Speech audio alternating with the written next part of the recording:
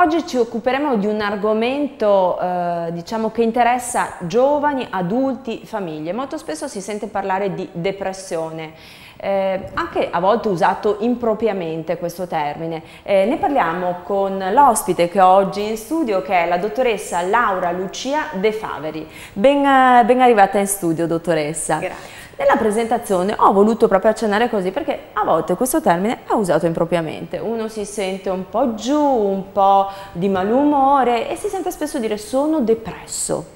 In realtà vogliamo spiegare bene alla sottoscritta e anche ai nostri telespettatori che cos'è la depressione, perché è molto di più dell'affermazione sono depresso. Beh, allora innanzitutto eh, prima di parlare di depressione dobbiamo considerare che ci sono uomini e donne che soffrono. Ci sono persone che hanno i loro vissuti, le loro esperienze, il loro background sociale, culturale e eh, manifestano un sintomo. Eh, la tristezza è un'emozione naturale. naturale. Tristezza come felicità, sono emozioni che uno prova, quindi... Sì, assolutamente normale nel caso si perda qualcuno o certo. qualcosa di importante, quindi certo. la, la tristezza fa parte della vita. Quello che la differenzia dalla depressione è innanzitutto la durata, l'intensità e il fatto che permanga nonostante non esistono cause apparenti. Ho capito, quindi a distinguere uno stato diciamo di tristezza che spesso viene eh, definita da, da chi sta male come una depressione, sì. è invece il non sapere la causa eh, no, allora, eh, a volte la causa è sconosciuta. E non si sa? Non si sa. Eh, altre volte è esclusivamente psicogena, quindi eh, può essere la reazione a un lutto, per esempio, certo. un lutto importante. Grossi dolori che una persona vive, un lutto, una separazione, mi riferisco ai bambini perché purtroppo sono sempre di più i casi di, di genitori che si separano e quindi probabilmente i figli adulti, eh, giovani, adolescenti, piccini o meno soffrono e provano questo, questo dolore Dolore certo. che è tristezza, è un sentimento che uno prova. Sì, la tristezza che poi però dovrebbe risolversi in modo naturale dopo un certo decorso. Dopo... Più o meno quanto, dottoressa? Allora, Oddio, ognuno magari poi ha i suoi tempi per elaborare un lutto, una perdita, una separazione, un dolore. Sì, sicuramente eh, il tempo è soggettivo, dipende da molti fattori. È anche vero che si parla di eh, episodio depressivo se, eh, e qui entriamo proprio nello specifico, no? se ehm, la persona prova tristezza per la maggior parte della giornata, quindi l'umore è depresso, perde piacere a fare attività che invece prima... Qualsiasi tipo di attività? Soprattutto quelle che prima considerava piacevoli. E diventano... Mm, perde interesse, non danno, non, non danno nessun piacere no, più. nessun piacere e addirittura eh, cioè, anche se la depressione può avere cause esclusivamente psicogene però comporta degli squilibri neurochimici quindi neurotrasmettitori come la, la serotonina la dopamina e il testosterone calano, calano Capito. proprio in modo flessibile. E invece... Perché noi sostanzialmente siamo chimica, siamo fatti di chimica, Anche. quindi eh, abbiamo appunto questi elementi che vanno, vengono, abbiamo bisogno di, di un di un equilibrio di sicuramente un equilibrio. e eh, invece salgono la prolattina e ehm, il cortisolo che sono gli, gli, ormoni dello stress per cui può avere anche cause esclusivamente psicogene quindi causate da fattori eh, ambientali, personali ma eh, crea appunto degli squilibri fisici e quindi ci sono entrambi i piani in gioco. Certo, certo. Ecco. E, e, e quando, quando, poi uno, eh, una persona deve rivolgersi ad uno specialista, nel qual caso uno psicologo, per riuscire a capire o a superare questi eventi traumatici. Quando? Perché al di là del, eh, del dolore che uno può provare, prima di rivolgersi ad uno specialista o comunque in ogni caso è bene rivolgersi ad uno specialista? Allora, eh, lei prima mi ha chiesto i tempi sì. e non le ho risposto sui tempi. Allora, si fa eh, la diagnosi di episodio depressivo se questi sintomi che ho elencato e anche altri come l'alterazione del ritmo sonno-veglia ah, ecco l'aumento, la diminuzione di appetito e quindi l'aumento o il calo di peso, la difficoltà di concentrazione, la difficoltà di memoria, l'autosvalutazione, la perdita di fiducia nella possibilità anche di, eh, di, di, un futuro, oppure nei casi più gravi anche idee suicide, tentativi di suicidio o suicidio conclamato. Quindi I questi, dottoressa scusi se la interrompo, sono tutti eh, diciamo dei sintomi, i modi in cui questa malattia, dico sbagliato se la chiamo malattia? La chiamano no, malattia. Malattia. Questa, eh, sono i sintomi in cui si manifesta, giusto? Sì, sì. Quindi uno deve valutare, vedere se ha i sintomi che lei ha appena elencato. Questi sintomi che possono anche essere associati con l'ansia e anche l'aggressività, perché poi mm, parleremo anche di cosa ci sta sotto. Quindi, certo, sì. certo. E questi sintomi qui, se sono se si risolvono in un tempo... Entro due ecco, settimane, ah, ecco. ecco. questo eravamo ai tempi. Quindi, ecco. Se entro due settimane questi eh, sintomi che vanno appunto, come ha ripetuto lei, dall'insonnia, inappetenza, eccetera, si risolvono, beh, bene. Bene. Se invece persistono? Eh, allora in quel caso, caso lì, di preoccuparsi. Eh, è il caso di prendere in considerazione cosa ci sta sotto e anche le motivazioni per cui eh, ci si sente in quel modo. E poi dai sei mesi in poi si parla proprio di episodio depressivo maggiore, quindi si fa diagnosi di, eh, di disturbo, scusi, non episodio, ma disturbo depressivo maggiore. Che differenza c'è? E appunto la, la, durata, la durata okay. Ma c'è anche una differenza poi nella, nella cura, nella terapia? Beh, eh, allora, ogni caso è a sé. Eh, se la, problema persiste per più tempo, è più facile che la persona abbia adottato, adottato eh, comportamenti, pensieri e si sia anche fossilizzata in quell'emozione di tristezza, paura, ansia, quindi probabilmente la cura sarà anche più difficile da portare avanti. Certo. E, eh, dottoressa, questi sono diciamo, i modi in cui si manifesta all'inizio la depressione. Sì. Mm, volendo parlare di cause, eh, cioè è impossibile o forse ci sono già degli studi che riescono a dare una spiegazione, diciamo, a, allora. allo sviluppo di questa, della depressione, di queste cose? Allora, sicuramente eh, sembra che la depressione sia causata da un insieme di fattori eh, personali, fisio fisiologici, ambientali, culturali.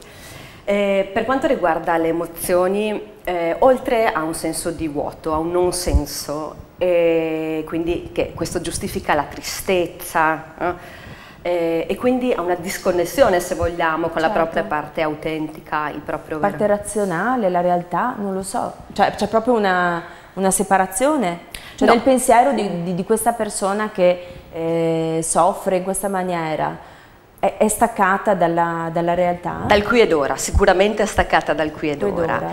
Dal qui ed ora e dalla realtà no, no eh, okay. di solito può, cioè, può, se la depressione è in comorbidità con altri sintomi e con altre patologie sì, altrimenti, altrimenti okay, mantiene okay. un rapporto. Stavamo, torniamo appunto, stavamo dicendo alle cause di... di... Sì, allora, eh, spesso la depressione eh, nasconde una grandissima rabbia una rabbia nei confronti di, di, di, se stessi, quindi è una forza. La depressione in realtà è una forza che è autodistruttiva.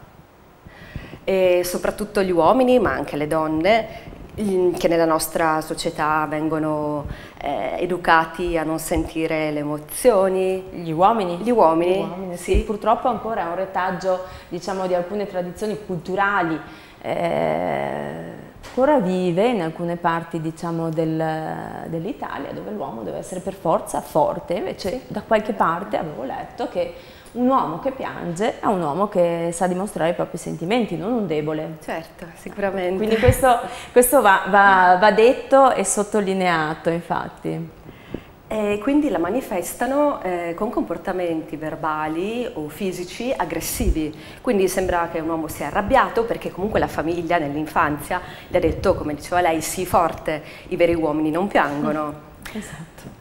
È una cosa che si sente dire spesso anche ai bambini piccolini quando oh, sei un ometto non piangere, poverino. Sì, infatti, poverino. È, è un retaggio culturale che c'è purtroppo. E quindi l'uomo non, non, si rende conto, e spesso anche la donna, di vivere questa profonda tristezza, la copre con la rabbia, quindi sembra un uomo molto arrabbiato e in realtà è un uomo molto depresso. Ho capito, ho capito, ho capito.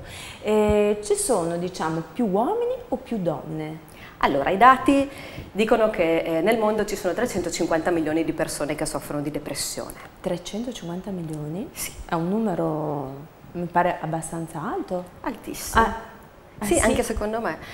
E addirittura tra quattro anni l'Organizzazione Mondiale della Sanità stima che eh, sarà la seconda causa invalidante dopo le malattie cardiovascolari. Davvero?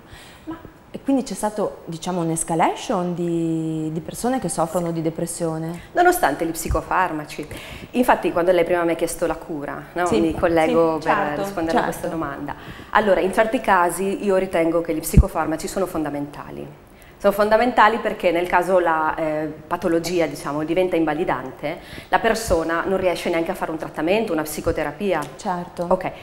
Tuttavia il farmaco, a mio avviso, eh, cura il sintomo ma non la radice, cioè il motivo che l'ha causato. Esatto. E quindi è bene fare anche un percorso di psicoterapia. È fondamentale, È fondamentale. è fondamentale, è fondamentale perché se vogliamo parlar- parlare in termini junghiani, Jung eh, probabilmente direbbe che la depressione ci mostra la nostra parte ombra, la nostra parte oscura, quella che di noi non conosciamo. E Perché, dottoressa, in alcuni emerge questa parte ombra ed in altri no? Cioè, ci sono persone, non so, ma no, usare il termine più forte no, perché ricadiamo nel- nell'errore di prima. e- Cioè, la parte ombra ce l'avremmo tutti, immagino, suppongo. Esatto. E perché in alcuni emerge ed in altri no? Guardi, io personalmente ritengo che emerge in tutte le persone, non in tutte le persone si manifesta attraverso un sintomo. Capito? Può manifestarsi attraverso comportamenti socialmente inaccettabili piuttosto Ah, che... Ecco, ecco, ecco, esatto, quindi tutti quanti abbiamo questa parte ombra che viene fuori. Sì, E quindi per si riesce a superare la depressione? Si riesce a superare la depressione sicuramente, eh, le- dicevo, le, eh, sembra che le donne soffrano più di depressione Ah, ecco, sì, rispetto sì. agli uomini. Uomini o donne? Sì, è anche vero che eh, le donne sono più propense a parlare dei propri problemi, delle proprie emozioni e a chiedere aiuto. Quindi è naturale che i dati ci Siano- dicono Esatto. che le donne hanno chiesto più aiuto, eh, però mh, ci sono anche molti uomini che appunto, come dicevamo prima, soffrono di depressione. Certo. Si Si riesce- riesce, si riesce a superare la Sì, depressione? assolutamente. Cioè, voglio dire, eh, uno rimane malato, mm, brutto insomma, soffre di depressione per tutta la vita o potrà occupare un arco magari anche piuttosto lungo, però alla fine riesce a ritornare a fare una vita normale, magari senza più l'uso di farmaci, anche l'uso di farmaci è temporaneo o uno dovrà comunque convivere sempre con l'utilizzo di farmaci e una terapia psicologica? Allora, ogni caso, ripeto, è a sé, a sé. purtroppo, quindi eh, dare una risposta Non- che, che copra tutto è impossibile. per me è impossibile, sì. Personalmente ritengo che sia proprio eh, possibile superarla, ehm, anzi addirittura eh, può essere considerata una, mm, un buon motivo per comprendere eh, la, la strada in cui eravamo e la strada dove veramente vogliamo andare, perché spesso il sintomo, come qualsiasi altro sintomo, ci porta un messaggio. Ci dice guarda che probabilmente stai andando in una Un strada... campanello d'allarme, una sorta di campanello d'allarme. Sì, stai andando in una strada un po' diversa rispetto a quella che il tuo cuore desidera. eh? E mm, stai perdendo la parte più autentica di te. E quindi torna in te, no? Torna a appunto smettila di soddisfare le aspettative esterne. Purtroppo, ma purtroppo, ecco, infatti volevo chiederle, sarà mica anche perché in questa società dobbiamo sempre comunque piacere e al datore di lavoro, piacere ai genitori, piacere agli insegnanti, piacere al fidanzato, piacere al compagno, al marito, ai figli e uno si sente veramente caricato di...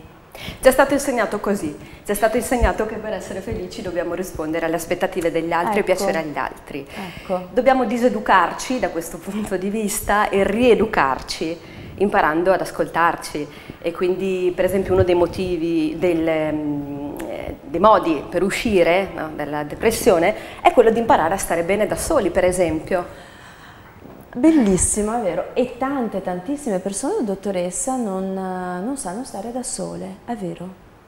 È vero? Eh, sì, hanno paura, hanno paura, si attaccano ai legami affettivi, alle cose materiali, eh, che possono comunque illudere di dare un piacere che però è temporaneo. Come fa un, una persona per riuscire a stare bene con se stesso? Perché questo poi è diciamo, il nocciolo della questione. Come fa una persona a stare bene con se sì. stessa? Ma, eh... Diamo qualche indicazione ai nostri telespettatori per riuscire a, a, a star bene da soli. Beh, innanzitutto eh, la solitudine non è l'isolamento come a volte si può pensare, sono due cose ben diverse. Stare da soli non significa stare in compagnia dei propri pensieri, soprattutto se sono negativi, eh, significa fare cose che ci piacciono, che ci appassionano, che eh, ci coinvolgono. Eh, un'alimentazione sana sicuramente aiuta a prevenire molti disturbi anche, È questo anche, eh, mentali. Sì. Mm -mm. mm. Magari potremmo anche approfondire sull'alimentazione, perché insomma si sente parlare molto spesso di alimentazioni che vietano questo, vietano l'altro, dopo io dico sempre, cioè uno sta male per forza se non mangi, era una mia teoria dottoressa, vedo che lei la valora e sono molto felice. Sì, un'alimentazione sana, ricca un po' di tutto diciamo. Eh, sì, soprattutto degli omega 3 come ben sappiamo, l'acido folico, vitamina B, vitamina C, il magnesio e comunque lo sport, lo sport è fondamentale. Eh, e insomma allora dottoressa ritorniamo a quello che dicevano gli antichi romani, mensa sana in corpore sano, quindi diciamo delle buone abitudini alimentari come lei stava dicendo eh, aiutano insomma a vivere in modo, in modo migliore. Certo, sicuramente. Dottoressa, volendo dare dei consigli, siamo quasi in chiusura, ehm, volendo dare dei consigli come oltre all'alimentazione sana uno deve affrontare anche le piccole difficoltà, i sensi, eh, parlavamo prima, fra le cause c'è anche un, un, senso di colpa che qualcuno prova, eccetera, ecco come possiamo dare dei consigli e poi quando deve rivolgersi ma liberamente ad uno specialista senza aver timore perché tante volte c'è la paura di rivolgersi allo psicologo e allo psichiatra. Sì, la paura di essere considerati fragili, la paura di non essere abbastanza perfetti, perché questo è quello che ci dicono. In realtà spesso anche le famiglie in buona fede ci fanno la richiesta di essere perfetti, di fare tutto perfettamente e questa è una missione impossibile, nel senso certo, che non, certo. è, non, è, umano essere perfetti. Ricordiamolo, è importantissimo, lei sta dicendo delle cose bellissime che mi riempiono veramente il cuore, perché vorrei che il messaggio che lei ha portato oggi veramente arrivasse a tanti, a tanti. E quindi beh, innanzitutto è fondamentale riconoscerla, la depressione, per non sottovalutarla. Certo. Okay? E allo stesso tempo anche per non, infatti, cioè per non parlare di depressione anche quando, quando, eh, quando non diciamo, c'è. Esatto. Eh, in ogni caso, dal mio punto di vista, è fondamentale fare un percorso di conoscenza di sé. Bene, bene. Dottoressa, io la ringrazio tantissimo per la disponibilità, per essere stata qua in studio con noi e per aver detto delle cose che spero facciano meditare molte persone. Ringrazio la dottoressa Laura Lucia De Faveri. Grazie, grazie a lei, grazie a lei.